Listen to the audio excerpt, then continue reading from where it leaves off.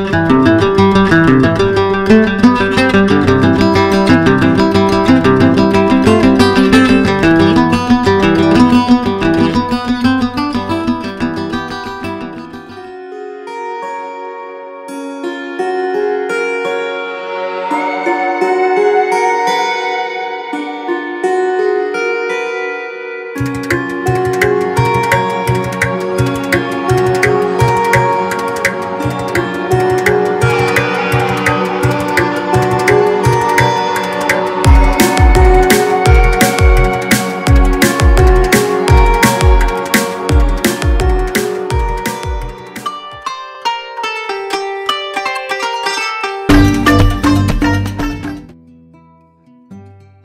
அஸ்ஸலாமு வலைக்கும் hi friends welcome to கஸ்பனா சமையல் எல்லோரும் எப்படி இருக்கீங்க?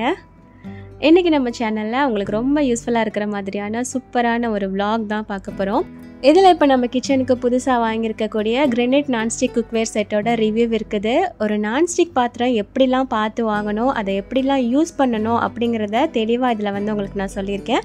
அண்ட் அது மட்டும் இல்லாமல் கூடவே ஒரு பட்ஜெட்டில் ஒரு விருந்து வைக்கணும் அப்படின்னா நம்ம என்ன சமைக்கலாம் எவ்வளோ ஈஸியாக டேஸ்டியாக சமைக்கலாம் அப்படிங்கிறதுமே இதில் நான் சொல்லியிருக்கேன். ஸோ இந்த வீடியோவில் உங்களுக்கு ரெசிபீஸும் கிடைக்கும். அண்ட் யூஸ்ஃபுல்லான சில விஷயங்களும் நீங்கள் தெரிஞ்சுக்கலாம். ஸோ வீடியோ வந்துட்டு ஸ்கிப் பண்ணாமல் பாருங்கள் அப்புறம் என் கையில் வந்து பார்த்தீங்கன்னா அப்பளம் அதுக்கப்புறம் கொஞ்சம் சிக்கன் சிக்ஸ்டி ஃபைவ் மசாலா வந்துட்டு இருக்குது. இது வந்து நான் வாங்கலை. என்னோடய ஃப்ரெண்டுக்கு அவங்களுக்கு ஊர்லேருந்து கொஞ்சம் திங்ஸ்லாம் வந்தது. ஸோ அதுலேருந்து எனக்கு கொஞ்சம் கொடுத்து விட்டுருந்தாங்க. சரி அதை வந்து பாக்ஸில் போட்டு வச்சிடலாம் அப்படின்னு சொல்லிட்டு அதை தான் எடுத்துகிட்டு இருந்தேன். ஒரு தடவை சொல்லியிருப்பேன் சிக்கன் சிக்ஸ்டி ஃபைவ் மசாலா நம்ம வீட்டில் எப்படி ரெடி பண்ணுறதுன்னு சொல்லிட்டு ரெசிபி தரேன் அப்படின்னு சொல்லிட்டு. நான் எப்போல்லாம் ரெடி பண்ணணும்னு நினைக்கிறேனோ அந்த டைம்லலாம் எனக்கு எப்படியாவது இந்த மசாலா கிடச்சிருது. ஸோ அதனாலே என்னால் செய்ய முடியாத மாதிரியே போயிட்டே இருக்குது பட் கண்டிப்பாக உங்களுக்கு வந்து நான் இதோட ரெசிபி கொடுக்குறேன். அப்புறம் என்னோட ஈத் vlogல வந்து நான் சொல்லியிருப்பேன். நான்ஸ்டிக் குக்வேர் செட் ஒன்று இந்தியாவில் ஆர்டர் போட்டிருக்கேன் அப்படின்னு சொல்லிட்டு.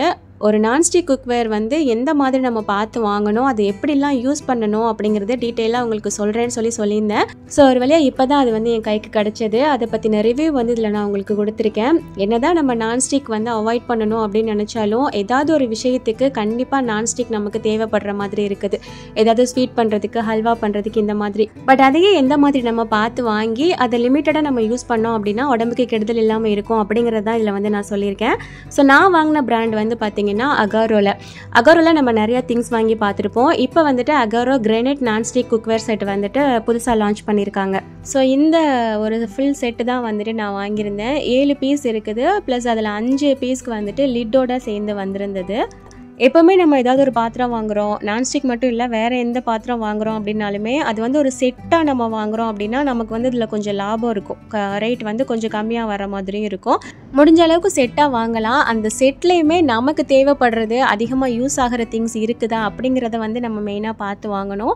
ஓகே இதில் இருக்கிற ஒவ்வொரு பீஸையுமே நான் உங்களுக்கு தனித்தனியாக காட்டுறேன். ஃபஸ்ட்டு இருக்கிறது வந்து பார்த்திங்கன்னா இது ஒரு ஃபோர் லிட்டர் கெப்பாசிட்டி உள்ள ஒரு பிரியாணி பாட் ஆக்சுவலாக இது வந்துட்டு ஒரு நார்மல் நான்ஸ்டிக் குக்வேர் செட் கிடையாது. இது full and full granite cookware set normal நான்ஸ்டிக்கில் கொஞ்ச நாள் யூஸ் பண்ணதுக்கப்புறம் உறிஞ்சு வரும் இல்லையா? அந்த பிரச்சனை எதுவுமே இதில் இருக்காது. ஸோ கண்ணை மூடிட்டு கிரெனேட் வந்து நம்ம தாராளமாக வாங்கலாம். இதில் வந்து இண்டக்ஷன் பேஸ்மே கொடுத்துருக்காங்க. ஸோ நம்ம இண்டக்ஷன்லையுமே வச்சு யூஸ் பண்ணலாம். ப்ளஸ் இதுக்கு வந்து லிட்டுமே வந்துடுது இது வந்துட்டு டுவெண்ட்டி ஃபோர் சென்டிமீட்டர் உள்ள ஃபோர் லிட்டர் கெப்பாசிட்டி ஒரு நாலு அஞ்சு பேர் இருக்கிற ஃபேமிலிக்கு தாராளமாக பிரியாணி வந்து பண்ணலாம். அண்ட் நெக்ஸ்ட் வந்து பார்த்திங்கன்னா நல்ல இந்த அகலமான ஒரு கடாய். எனக்கு ரொம்ப ரொம்ப பிடிச்சதில் இதுவுமே ஒன்று அவ்வளோ சூப்பராக நல்லா அகலமாக பெருசாக இருந்தது. இதோட லிட்டர் வந்து பார்த்திங்கன்னா three point eight litre twenty eight centimetre இதுக்குமே வந்து லிட்டோட தான் வந்திருந்தது. அண்ட் இதுவுமே வந்துட்டு இண்டக்ஷன் பேஸ் தான். அண்ட் அடுத்தது ஒரு ஃப்ரை பேன் இது நல்ல பெரிய fry pan twenty eight centimetre உள்ள ஃப்ரை பேன் இதுவுமே வித் லிட்டோட வந்திருந்தது. இண்டக்ஷன் பேஸ் தான். நான் வாங்கியிருந்த எல்லாமே இண்டக்ஷன் பேஸ் தான். அண்ட் நெக்ஸ்ட் வந்து பார்த்தீங்கன்னா ஒரு க்ரில் பேன் இருந்தது. நல்லா ஸ்கொயர் ஷேப்பில் அதோட லிட்டுமே வந்து பார்த்தீங்கன்னா சூப்பராக ஸ்கொயர் ஷேப்பில் கொடுத்துருந்தாங்க. பார்க்கவே நல்லா க்யூட்டாக அழகாக இருந்தது. நம்ம சிக்கன் மட்டன் க்ரில் பண்ணுறது மட்டும் இல்லாமல் பிரெட் சாண்ட்விச் இந்த மாதிரிலாம் பண்ணோம் அப்படின்னாலுமே ரொம்ப சூப்பராக வரும்னு நினைக்கிறேன். இன்ஷால்லா நான் அதெல்லாம் பண்ணும்போது உங்களுக்கு ரெசிபி நான் போடுறேன். அண்ட் நெக்ஸ்ட் ஒன் வந்து பார்த்தீங்கன்னா இந்த குட்டி ஃப்ரை பேன் ஆம்லெட் எல்லாம் பண்ணுற மாதிரி one point one litre capacity twenty centimetre உள்ளது. அண்ட் நெக்ஸ்ட் ஒன்று வந்துட்டு ஒரு சாஸ் பேன் இருக்குது. இது வந்து one point five litre capacity sixteen centimetre இதுவுமே வித் லிட்டோட வந்திருந்தது. இந்த செட்டில் வந்த எல்லா பாத்திரமே பார்த்தீங்கன்னா நல்ல வெயிட்டாக இருந்தது. ஸோ நம்ம கண்டிப்பாக நான்ஸ்டிக் பாத்திரம் ஏதாவது வாங்குறோம் அப்படின்னா கண்டிப்பாக கனமானதாக தான் பார்த்து வாங்கணும். அண்ட் லாஸ்ட் ஒன் வந்து பார்த்தீங்கன்னா தோசை டவா டவா வந்துட்டு டுவெண்ட்டி எயிட் சென்டிமீட்டர் உள்ள தோசை டவா நல்லா பெரிய தோசையாகவே வரும். இதுவுமே இண்டக்ஷன் பேஸ் தான். இதுவுமே நல்ல வெயிட்டாக இருந்தது. ஸோ இந்த ஏழு செட்டு தான் வந்து பார்த்திங்கன்னா மொத்தமாக வாங்கியிருந்தேன். ஓகே ஒரு நான்ஸ்டிக் பாத்திரம் வாங்குகிறோம் அப்படின்னா முதல்ல அது நல்ல வெயிட்டான பாத்திரமாக இருக்குதா அப்படின்னு சொல்லிட்டு பார்த்து வாங்குங்க. அண்ட் முடிஞ்ச அளவுக்கு கிரெனைட் ஃபினிஷிங் உள்ள நான்ஸ்டிக் பாத்திரம் வந்துட்டு வாங்குறதுக்கு ட்ரை பண்ணுங்க.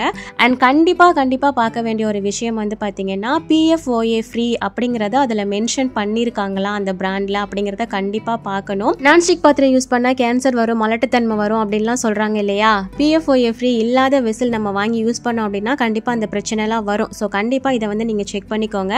அண்ட் இன்னொரு முக்கியமான விஷயம் நிறைய பேருக்கு தெரியும். நான்ஸ்டிக் பாத்திரம் நம்ம யூஸ் பண்ணும்போது கண்டிப்பாக உட்டன் ஸ்பேச்சுலா இல்லைன்னா இந்த சிலிக்கான் ஸ்பேச்சுலா யூஸ் பண்ணுறது தான் நல்லது.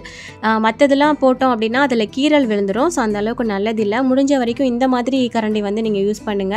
அண்ட் இன்னொரு முக்கியமான விஷயம் வந்து பார்த்தீங்கன்னா இப்போ நம்ம அடுப்பில் வச்சு நான்ஸ்டிக் பாத்திரத்தை நம்ம சூடு பண்ணுறோம் அப்படின்னா ஓவர் ஹீட் ஆயிராமல் அதாவது பாத்திரத்துலேருந்து புகை வர்ற அளவுக்கு நம்ம ஓவர் ஹீட் பண்ணக்கூடாது. எப்போவுமே மீடியம் ஃப்ளேமில் வச்சு தான் குக் பண்ணணும்.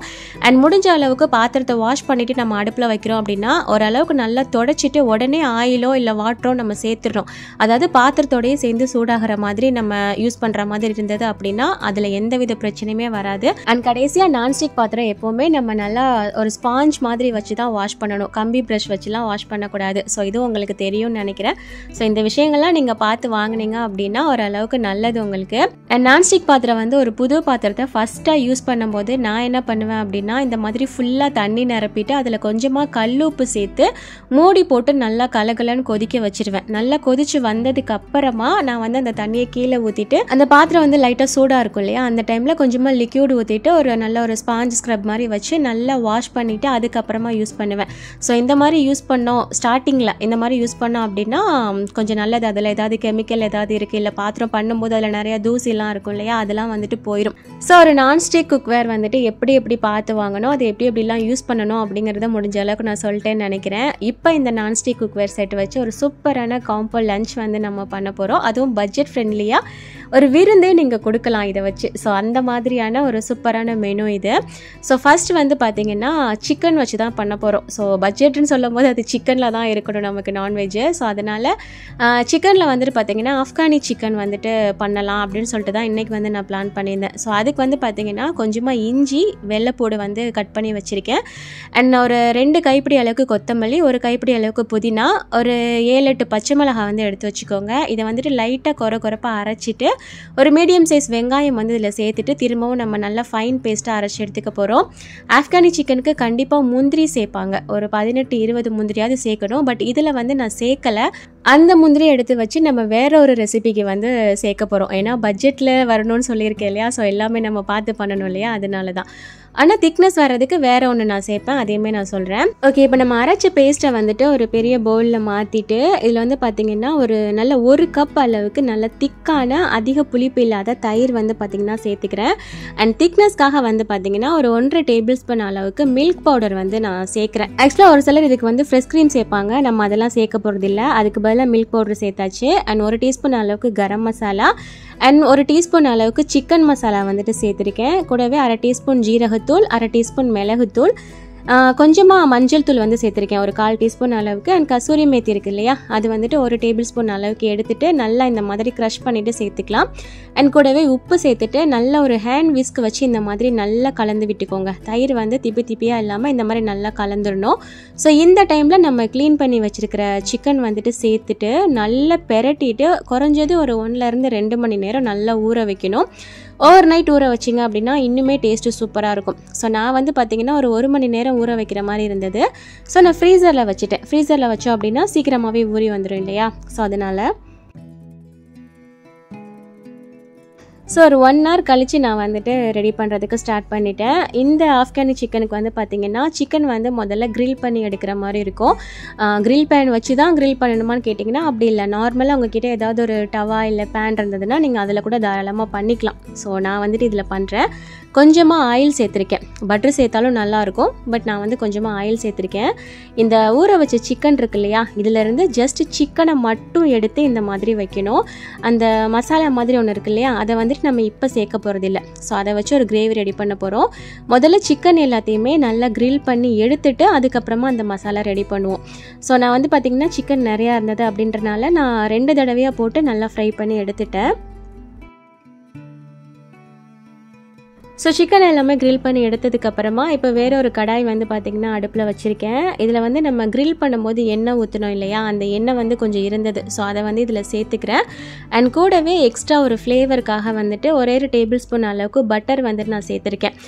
கொஞ்சமாக சேர்த்துக்கிட்டோம் அப்படின்னா அந்த ஃப்ளேவர் வந்து நல்லா இருக்கும். இல்லை அப்படின்னா கீ இருந்ததுன்னா சேர்த்துக்கோங்க. இப்போ இந்த பட்டர் வந்து சூடாகி வந்ததுக்கப்புறமா கொஞ்சமாக பட்டை கிராம்பு ஏலக்காய் இது மூணுமே வந்துட்டு நான் சேர்த்துருக்கேன். ஸோ அது லைட்டாக பொரிஞ்சு வந்ததுக்கப்புறமா ஆல்ரெடி நம்ம சிக்கன் எடுத்தது போக அந்த மசாலா வந்திருந்தது இல்லையா? அதை வந்துட்டு அப்படியே நான் சேர்த்துருக்கேன். சேர்த்துட்டு நல்லா கலந்து கொடுத்துக்கோங்க. உங்களுக்கு இந்த டைமில் தண்ணி சேர்க்கணும் அப்படின்னாலும் நீங்கள் சேர்த்துக்கலாம். ஏன்னா இந்த கிரேவி கொஞ்சம் டைம் ஆக ஆக கொஞ்சம் கூட திக்காகி வரும். ஸோ அதனால் இந்த டைம்லேயே தண்ணி எக்ஸ்ட்ரா வேணும்னா நீங்கள் சேர்த்துக்கோங்க. ஜஸ்ட் இதை மூடி போட்டு ஒரு ரெண்டு நிமிஷம் மட்டும் நல்லா கொதிக்க வச்சுட்டு ஆல்ரெடி நம்ம கிரில் பண்ணி வச்சுருக்கிற சிக்கன் இருக்குது இல்லையா? அதை வந்துட்டு அப்படியே இதில் வந்து சேர்த்துற வேண்டியதா இது வந்து பெரிய வேலையே இல்லை. ரொம்ப சிம்பிளாக பண்ணிடலாம்.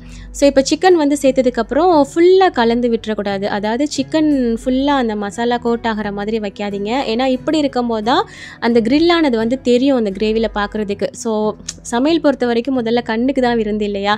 அந்த மாதிரி பார்க்கும்போது ரொம்ப அழகாக இருக்கும். இப்போ சிக்கன் சேர்த்ததுக்கப்புறமா அதை கொஞ்சம் நேரம் மூடி வச்சுருக்கேன். அதுக்கடையில் பார்த்தீங்கன்னா ஒரே ஒரு கறி துண்டு இருக்குது இல்லையா சார்கோல் அதை எடுத்துகிட்டு நல்லா சூடு பண்ணிக்கிறேன்.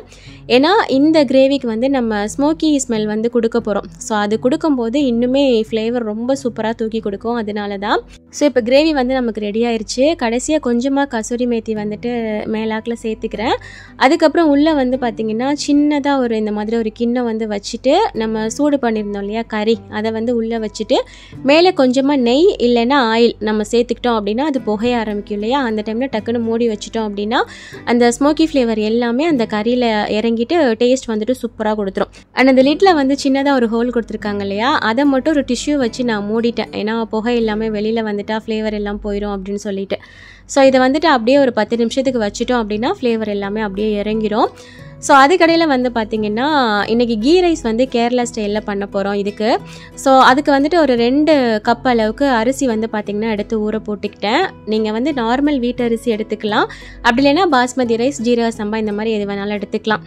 அண்ட் இந்த பக்கம் ஆஃப்கானி சிக்கனுமே பார்த்தீங்கன்னா செம்ம சூப்பராக ரெடி ஆயிருச்சு. ஸோ இதை ஒரு பக்கம் தூக்கி வச்சுட்டு இப்போ நெய்ச்சோருக்கு வந்து நம்ம தாளிக்க ஆரம்பிக்கலாம். ஸோ இதுவுமே ரொம்ப சிம்பிள் தான். இதுக்கும் தேங்காய் பால் சேர்க்கணும் நிறைய பொருள் சேர்க்கணும் அப்படின்லாம் இல்லை. ரொம்ப ஈஸியாக தான் பண்ண போகிறோம் இந்த நெய்சோர் நம்ம தாளிக்க ஆரம்பிக்கும் போதே அதுக்கு தேவையான தண்ணி வந்து பார்த்தீங்கன்னா நம்ம கொதிக்க வச்சிடணும். ஜீரா சம்பா ரைஸ் எடுக்கிறீங்க அப்படின்னா ஒன்றுக்கு ஒன்றே முக்கால் அளவுக்கு தண்ணி எடுத்துக்கோங்க. நார்மல் வீட்டு அரிசி எடுக்கிறீங்கன்னா ஒன்றுக்கு ரெண்டே முக்கால் அளவுக்கு தண்ணி அந்த மாதிரி அளந்து வச்சுக்கோங்க. ஓகே இந்த பக்கம் நெய்ச்சோர் தாளிக்கிறதுக்கு வந்து பார்த்தீங்கன்னா ஜஸ்ட் ஒரு ரெண்டு டேபிள் ஸ்பூன் அளவுக்கு மட்டும் நெய் சேர்த்துருக்கேன். இதில் வந்துட்டு பட்டை கிராம்பு ஏலக்காய் அதுக்கப்புறம் இது பேர் இது ஜாதி பத்திரின்னு நினைக்கிறேன். சரியாக தெரியல. ஸோ அதுவுமே வந்துட்டு சேர்த்துருக்கேன். சேர்த்துட்டு நல்லா இந்த மாதிரி வறுத்து விட்டுக்கோங்க. ஒரே ஒரு பெரிய வெங்காயம் வந்துட்டு இந்த மாதிரி ஸ்லைஸாக கட் பண்ணிவிட்டு சேர்த்துட்டு இதையுமே நல்லா வதக்கி விட்டுக்கலாம். அண்ட் இந்த டைப் நேச்சருக்கு வந்து பார்த்தீங்கன்னா இஞ்சி பூடு பேஸ்ட்டு சேர்த்தும் பண்ணலாம் சேர்க்காமலும் பண்ணலாம். உங்ககிட்ட இல்லைன்னா கூட ஃபீல் பண்ணாதீங்க. மற்ற மற்ற ஸ்டெப் நீங்கள் கரெக்டாக பண்ணுங்கள் என்கிட்ட இருந்ததுன்றனால ஜஸ்ட் ஒரே ஒரு டீஸ்பூன் அளவுக்கு மட்டும் நான் சேர்த்துக்கிறேன். ஏன்னா சேர்க்கும் போது கொஞ்சம் ஃப்ளேவர் தூக்கி கொடுக்கும் இல்லையா? அதனால தான் ஸோ இருந்ததுன்னா சேர்த்துட்டு நல்லா மிக்ஸ் பண்ணி விட்டுக்கோங்க. ஜஸ்ட் இஞ்சி பூடு பேஸ்ட்டோட பச்சை வாசம் மட்டும் போகணும். பட் தாளிப்பு வந்து கலர் வந்து சேஞ்ச் ஆகிடக்கூடாது இல்லைன்னா நேச்சரோட கலரை வந்து மாற்றிடும் ஸோ இந்த டைமில் நம்ம அரை மணி நேரம் ஊற வச்சு அரிசி வந்து நம்ம சேர்த்துக்க போகிறோம் இந்த அரிசியை வந்து நெய்யோடு சேர்த்து ஜஸ்ட் ஒரு ரெண்டு மூணு நிமிஷத்துக்கு நல்லா நம்ம கிளறி கொடுக்கணும். இப்படி வறுக்கும் போது பார்த்தீங்கன்னா சோறு வந்துட்டு நல்ல உதிரி உதிரியாகவும் நல்ல சாஃப்டாகவும் கிடைக்கும். அதனால தான் பண்ணுறது முடிஞ்ச அளவுக்கு இந்த ரைஸ் வந்து நீங்கள் ஜீரா சம்பா ரைஸில் வந்து பண்ணீங்க அப்படின்னா ஃப்ளேவர் வந்து ரொம்ப சூப்பராக இருக்கும். பட்ஜெட்னு சொல்லிட்டு ஜீரா சம்பா ரைஸ் யூஸ் பண்ண சொல்கிறீங்கன்னு நினைக்காதீங்க. நம்ம வந்து இதுக்குன்னு செலவழிக்க போகிறது கொஞ்சம் தான் இல்லையா? ஸோ அதை வந்துட்டு கொஞ்சம் குவாலிட்டியாக பண்ணிட்டோம்னா டேஸ்ட் வந்துட்டு ரொம்ப நல்லாயிருக்கும் ஸோ அதுக்காக தான் ஸோ இந்த டைமில் வந்து நல்லா கொதிக்க வச்ச தண்ணியை நம்ம சேர்த்துட்டு தேவையான அளவுக்கு உப்பு வந்து சேர்த்து நல்லா கலந்து விட்டுட்டு மூடி போட்டுற வேண்டியதான் ஜஸ்ட் இடையில ஒரு ரெண்டு தடவை எடுத்து கிளறி கொடுத்துக்க வேண்டியதான் மற்றபடி இதில் பெரிய வேலையே இல்லை பட் ஃப்ளேவரும் டேஸ்ட்டும் சூப்பராக வந்துடும் ஸோ இப்போ வந்து நான் மூடி போட்டுடுறேன்.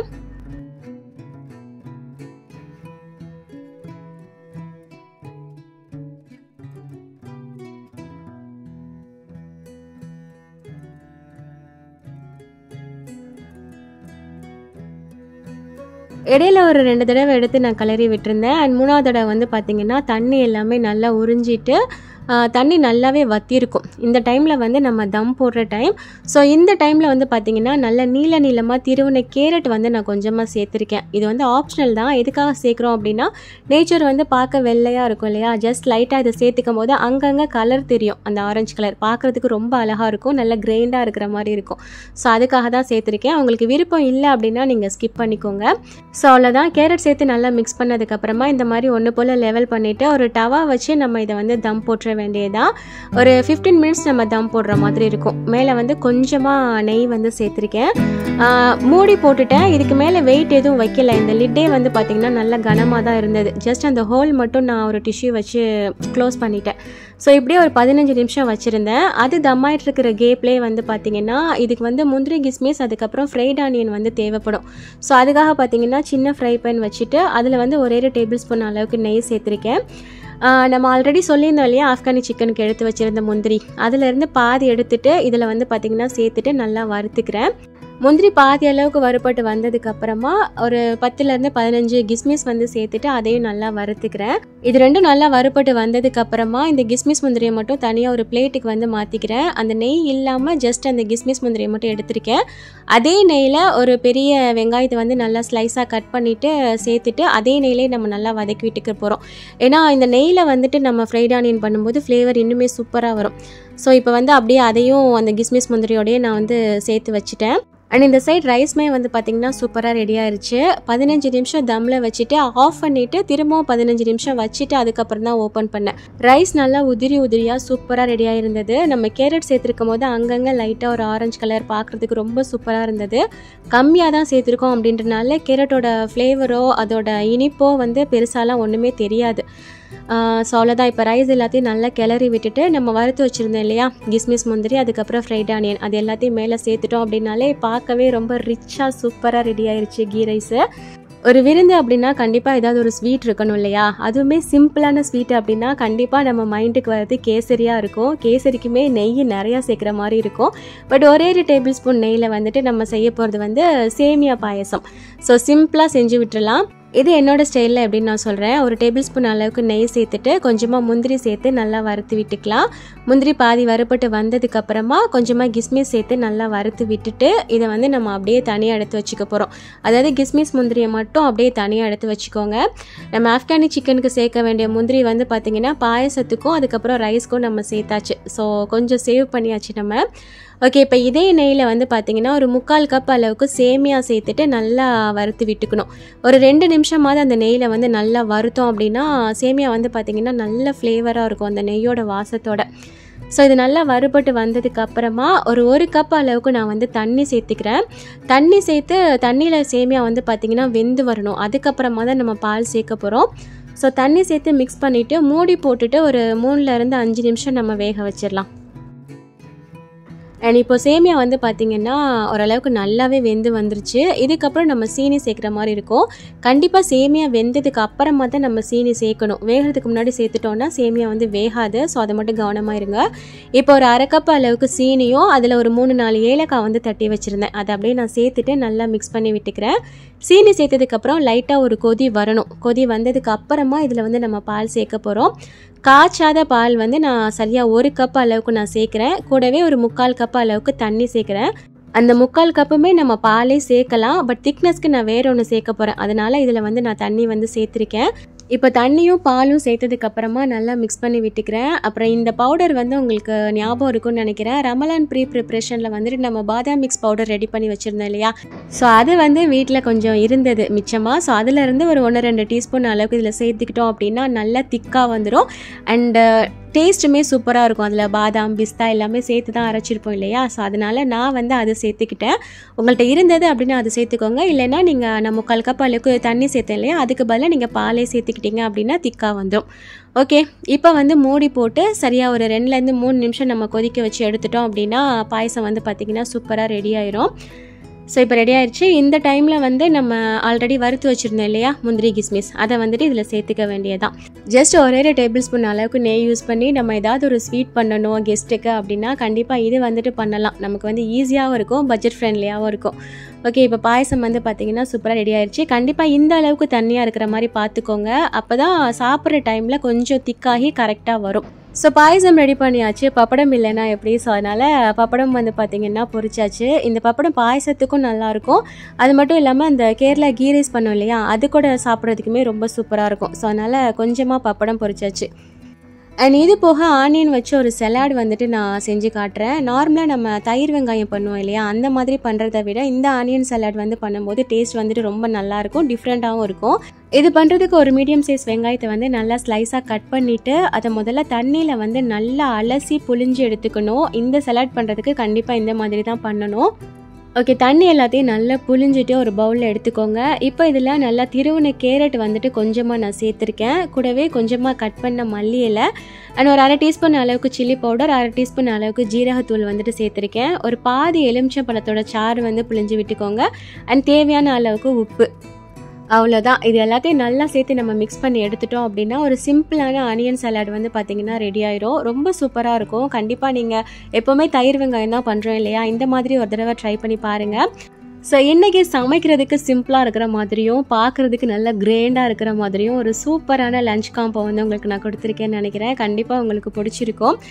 ஸோ இன்றைக்கி கொடுத்த நான்ஸ்டிக் குக்வேர் செட்டோட இன்ஃபர்மேஷனும் உங்களுக்கு பிடிச்சிருக்கும். நான் வாங்கின நான்ஸ்டிக் குக்வேர் செட்டோட லிங்க்ஸ் எல்லாமே நான் டிஸ்கிரிப்ஷனில் கொடுக்குறேன். செட்டாகவும் கொடுக்குறேன் தனித்தனியாகவும் கொடுக்குறேன். ஸோ உங்களுக்கு எந்த மாதிரி வாங்கணுமோ அது மாதிரி நீங்கள் பார்த்துக்கோங்க.